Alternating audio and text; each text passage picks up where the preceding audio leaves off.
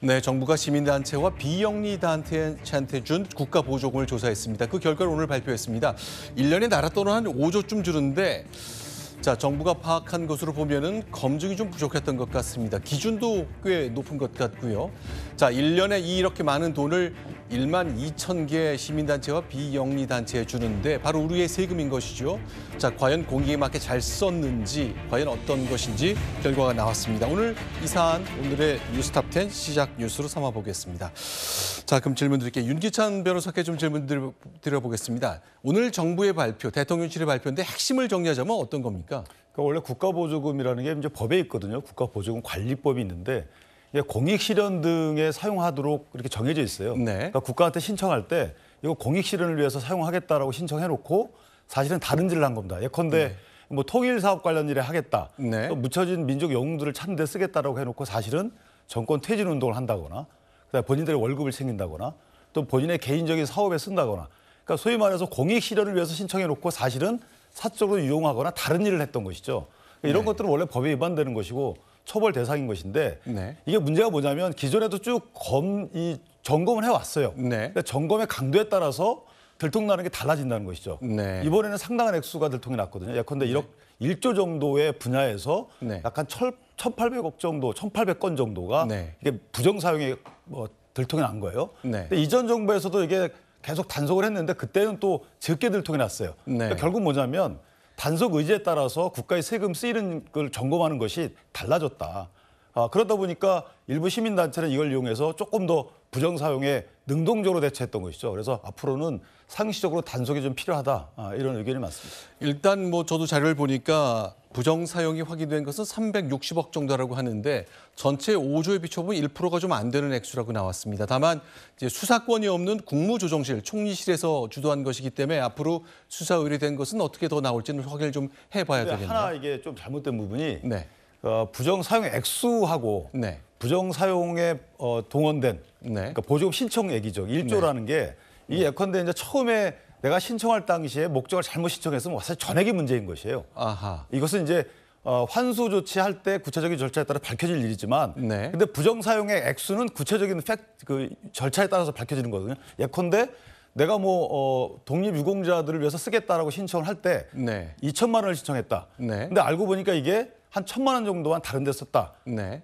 이래도 2천만 원을 환수하는 게 원래 원칙이거든요. 아하. 그래서 이거는 이제 어, 절차 액수가 우리가 일반적으로 350억만 문제가 있다 이렇게 볼 것은 아니고 네. 실제로 그걸 따져봐야 수사를 통해서 확인해 봐야 됩니다. 알겠습니다. 지금 윤기찬 변호사님께서 짚어주신 대로 사실 더 구체적으로 들어가 보면 네. 예를 들면 사회적 협동조합 뭐 모 이사장이 2022년도에 청년 창업 지원 사업을 하겠다고 하면서 보조금 천만 원을 받았습니다. 네, 그런데 어, 이것이 전부 개인적으로 사용한 것이 다 들통이 나버렸고요. 네. 또 두 번째 뭐 또 여러 가지 이제 사례들이 많은데요.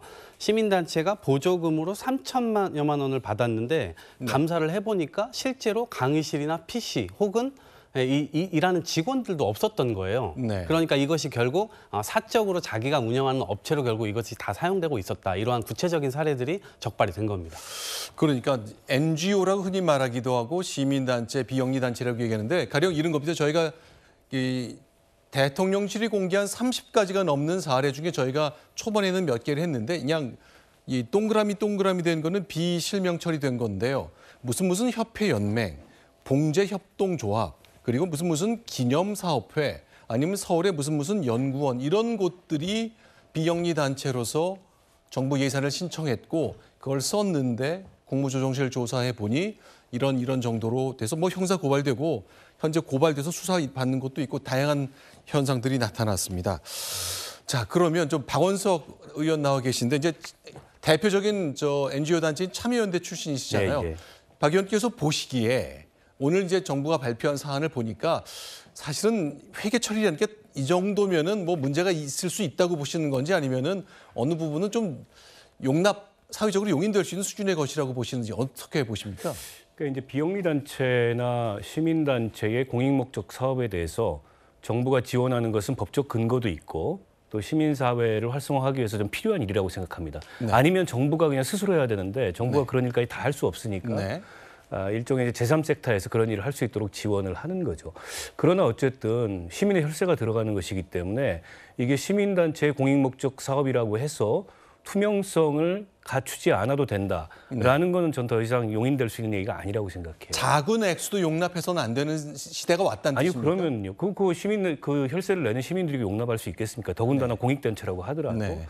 그러나 저는 두 가지를 한 가지는 정부에 부탁을 하고 싶고 한 가지는 이제 시민단체 부탁을 하고 싶은데 그 시민단체도 어쨌든 시민단체는 독립성을 생명으로 하는 그런 이제 비정부 기구입니다. 네. 근데 이제 정부 보조금 사업에 익숙해지다 보면 나중에 가서 그 단체의 고유한 목적은 사라지고 보조금 사업을 하는 단체가 돼버리는 경향들을 제가 많이 봤어요. 의존하게 되니까. 네, 때문에 뭐 제가 있었던 참여연대 같은 것은 아예 정부 보조금을 안 받는다라는 네. 원칙을 창립 때부터 세워놓고 지금까지 지키고 있는데 네. 저는 보조금을 받을 수 있다 하더라도 네. 전적으로 활동이 거기에 매이게 되면 이런 일이 이제 발생할 그런 네. 여지가 커지기 때문에 그런 유의해야 되고 정부는 이참에 어쨌든 시민단체도 자정 기능을 갖추도록 문제가 있는 걸 들춰내는 건 좋은데 네. 이거 전체로 시민단체 를 매도하는 네. 이제 그런 어떤 그 이 기회로 그런 그 그걸 그런 계기로 그렇게 활용하면 안 된다. 그렇죠. 옥석이 좀 구분이 돼야 될 것 같고 사실은 작은 액수 하나라도 이건 국민의 세금이기 때문에 정말 영수증 처리 꼼꼼히 하는 시민단체도 굉장히 많을 거라고 전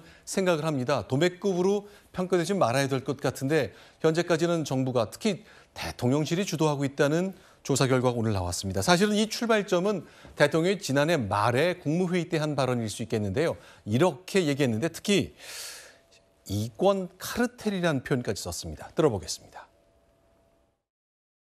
국민의 세금인 국가 보조금으로 지원하는 민간 단체의 경우도 마찬가지입니다. 에, 지난 몇 년간 민간 단체에 대한 국가 보조금이 급격하게 늘어났지만 정부의 관리는 미흡했고 그간 에, 그 회계 사용처를 제대로 들여다 본 적이 있는지 의문입니다.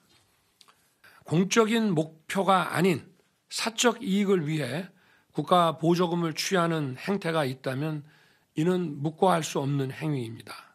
국민의 혈세가 그들만의 이권 카르텔에 쓰여진다면 국민 여러분께서 이를 알고 용납하지 않으실 것입니다.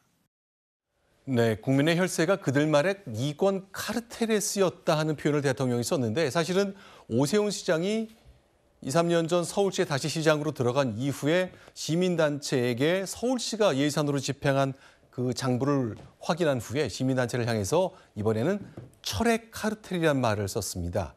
자, 과연 어떤 얘기를 했는 것인지 들어보겠습니다.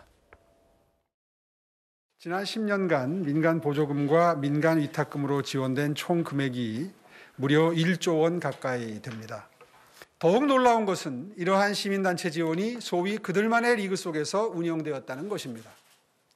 시민단체 출신 인사들이 임기제 공무원으로 서울시 도초에 포진해서 위탁업체 선정에서부터 지도 감독까지 관련 사업 전반을 관장했습니다. 네, 김영란 의원도 나와 계신데 이제 철의 카르텔 오세훈 시장 얘기고 이권 카르텔이다 대통령이 얘기했습니다. 지나친 표현입니까 아니면은 들을만 합니까? 어떻게 보세요? 글쎄 저는 뭐 오늘 감사 결과도 빙산의 일각이라고 생각을 합니다. 그러니까 아, 12,000개 정도의 시민단체가 국가 보조금 5조 4천억 원을 받는다고 하니까 한 개 시민단체당 평균 대략 4억 5천만 원 정도를 1년에 받는 것이거든요. 네. 어, 4억 5천만 원 적지 않은 돈이죠. 한 달에 뭐 대략 아, 4천만 원 가까운 돈이 평균적으로 나간다는 얘기인데 네. 오세훈 시장의 이야기대로 그 보조금을 배분하는 업무도 사실은 계약직으로 들어온 시민단체 출신들이 많이 한다는 것이죠. 네. 사실은 끼리끼리 나눠 먹는 것을 하면서 시민들의 세금으로 자기들 배를 불리는 경우가 많은데 오늘 이게 국무조정실에서 몇 명이 한 거예요. 사실은 네. 12,000개 시민단체를 제대로 훑어보면 부정사용 금액이 360억이 아니라 훨씬 더 많을 거라고 생각을 하고 말 그대로 빙산의 일각이 일부 드러난 거다 이런 생, 아, 생각이 듭니다. 실제로 나온 수- 그 사례를 보면은 보- 정부 보조금을 받은 후에 자기 개인 사무실에 임대료를 낸다거나 아니면은 업자에게 물건을 사는데 굉장히 비싸게 준 후 뭐 500만 원씩 리베이트를 받는다거나 이런 사례가 나와서 도덕성을 생명으로 하는 시민단체 구성원이라고 믿기엔 좀 어려운 사례들이 좀 있었습니다. 이런 점 때문에 앞으로 이 사안은 수사가 진행되면 더 뜨겁게 달아오를 가능성이 있어 보이네요. 네. 네. 고이면 썩는다 이 말이 사실은 거의 진리에 가깝습니다. 네. 아무래도 아무 감시가 없으면은 투명하지가 않으니까 어, 부정 비리가 일어날 가능성이 굉장히 커지죠. 다만 저는 정부가 이것을 접근할 때 대통령실이 이걸 주도하는 것도 사실은 조금 문제가 있어 보이지만 네. 왜냐하면 이념적으로 진영적으로 정치적으로 접근하는 측면이 보이거든요. 네. 이 과정 관리를 또 실패하게 되면 아마 또 정치 투쟁 쟁점 이상한 데로 또 갈 겁니다. 네. 그런 차원에서 봤을 때 이것을 단 순히 그냥 시민단체를 때려잡는 모양새로만 가지 말고 네. 차제 제3섹터 자체가 위축되면 안 된다라고 네. 하는 대원칙을 세워두고 네. 시민들이 실제로 많은 시민단체에 돈도 내고 그것이 투명하게 관리되고 실제로 정부와 정치가 제대로 하지 못하는 역할들을 이러한 시민단체들이 어, 정확하게 그 위치로 들어가서 역할을 할 수 있도록 이것을 오히려 더 활성화될 수 있는 대안까지 대통령실에서 정부에서 제시해 주면 좋겠다라는 생각입니다. 이게 이제 정부의 회계 처리 엄정함 뭐 누구도 부인할 수 없는 기준일 것 같으니까 그거는 당연히 받아들이는 것 같고요. 그러나 이번에 이제 조사 결과 특히 오세훈 시장의 말처럼 박원순 시장을 겨냥하는 듯한 발언을 했기 때문에 이게 정치적으로 해석될 여지가 굉장히 많이 있습니다.